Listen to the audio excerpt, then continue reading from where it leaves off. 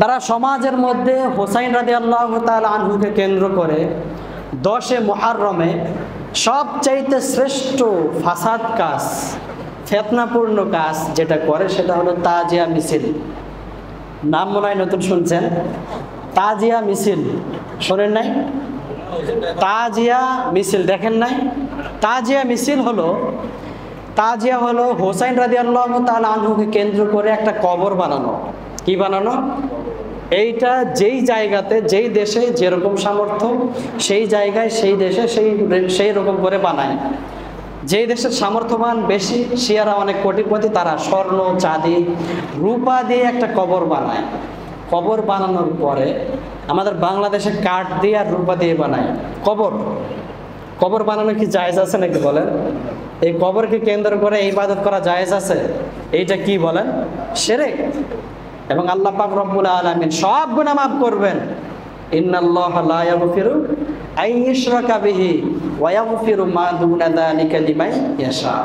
আপনার ভিতরে শিরকের গুনাহ নাই। আল্লাহ পাক চাইলে আপনার জীবনের সব গুনাহ মাফ করবেন, সুবহানাল্লাহ বলেন।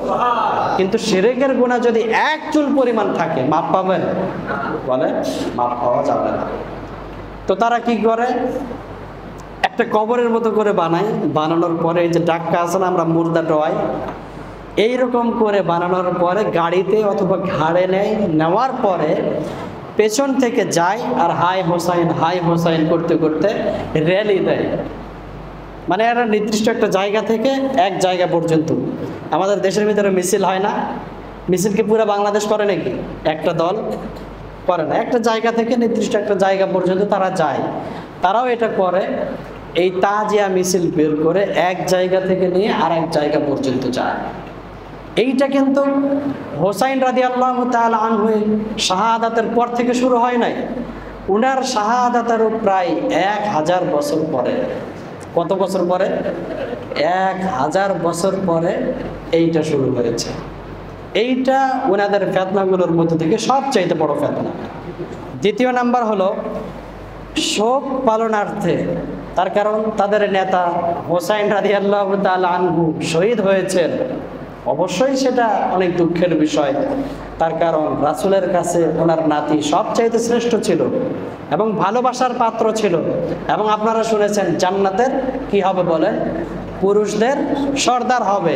ওনার মর্যাদা অনেক বেশি। কিন্তু ওনার মর্যাদাকে কেন্দ্র করে এখানে ইসলাম বহির্ভূত। কোনো কাজ করা যাবে নাকি বলেন? যদি করা যেত, তাহলে হোসাইনের থেকে তো রাসুল সবচাইতে শ্রেষ্ঠ। কথা কি ভুল বললাম? রাসুল যেই দিন ইন্তেকাল করেছেন, ওই দিনে তো আরও অনেক বড় কিছু করার প্রয়োজন ছিল। ছিল না? বলেন। প্রিয় ভাইয়ের আমার, একটু বোঝার চেষ্টা করবেন। তো ওনার শোক পালনার্থে কি করে? শরীরে তরবারি দিয়ে আঘাত করে। দেখেন নাই আপনারা? শরীরে কি করে বলেন?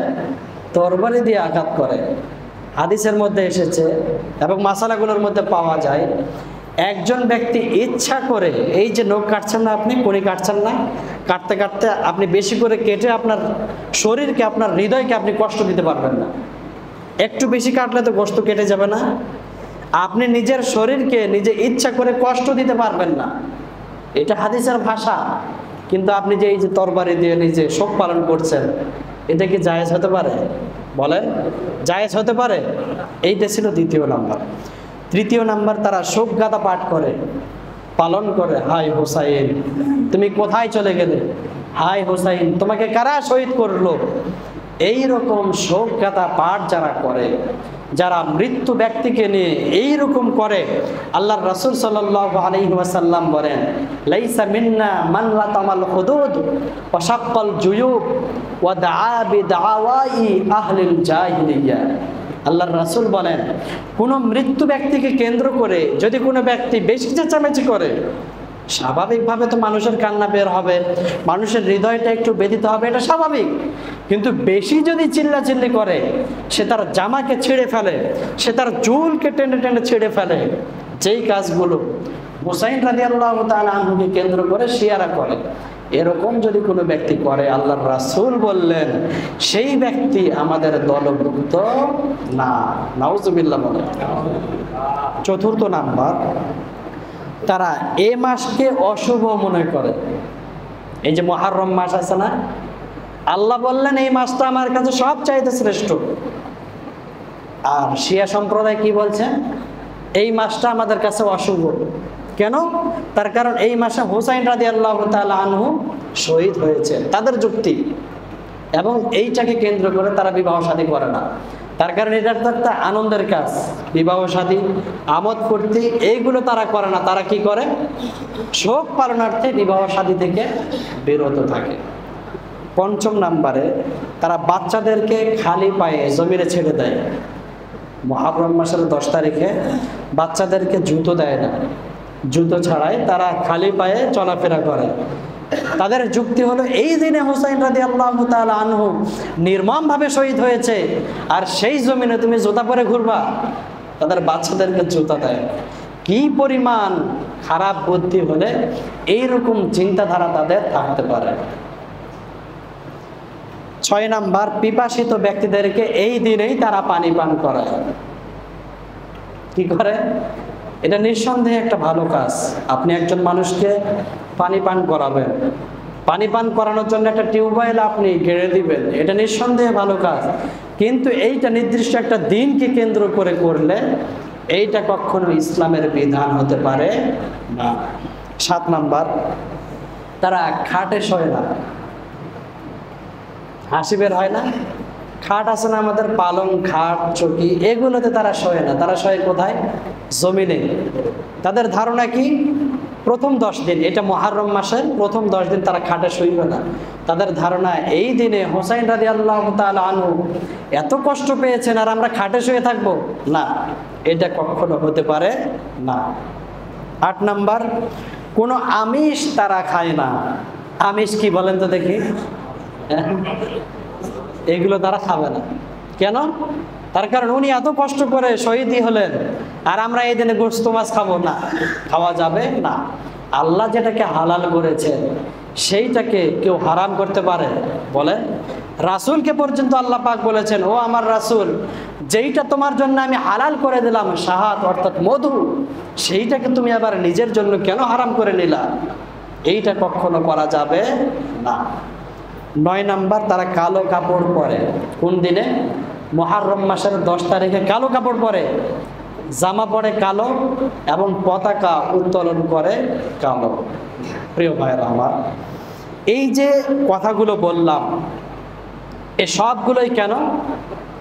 একজন মৃত ব্যক্তি, একজন শহীদ তো অবশ্যই, একজন মৃত, এখান থেকে আমাদের শিক্ষা কি সেটা বলছি। একজন মৃত মানুষকে কেন্দ্র করে, একজন শহীদ মানুষকে কেন্দ্র করে এই সবগুলোতে তারা করছে। করছে না। কিন্তু আল্লাহর রাসুল সাল্লাম এই সবগুলো থেকে আমাদেরকে নিষেধ করেছে। আগে হাদিস বললাম যে একজন মানুষ মারা যাবে, এটা স্বাভাবিক বিষয়। এইটা কিন্তু একদমই স্বাভাবিক বিষয়। আপনি যে বেঁচে আছেন, এটাই অস্বাভাবিক। তার কারণ, আপনি দুনিয়াতে এত বেশি ফেতনা ফাসাদ করছেন, এত জুলুম করছেন, তারপরেও যে আল্লাহ আপনাকে আল্লাহর জমিনে বাঁচিয়ে রেখেছেন, এইটাই তো সব অস্বাভাবিক। আল্লাহ তো, আল্লাহর তো এখানে উচিত ছিল নাউজুবিল্লা এখানে আল্লাহর দায়িত্ব ছিল, বা আল্লাহর যেটা পাওয়ার, ওনার পাওয়ার খাটিয়ে আপনাকে জমিনে গেড়ে দেওয়ার দরকার ছিল। ছিল না? আপনি একজনের সম্পদ অন্যায়ভাবে নিয়ে নেবেন। আপনি একজনের প্রতি জুলুম করবেন।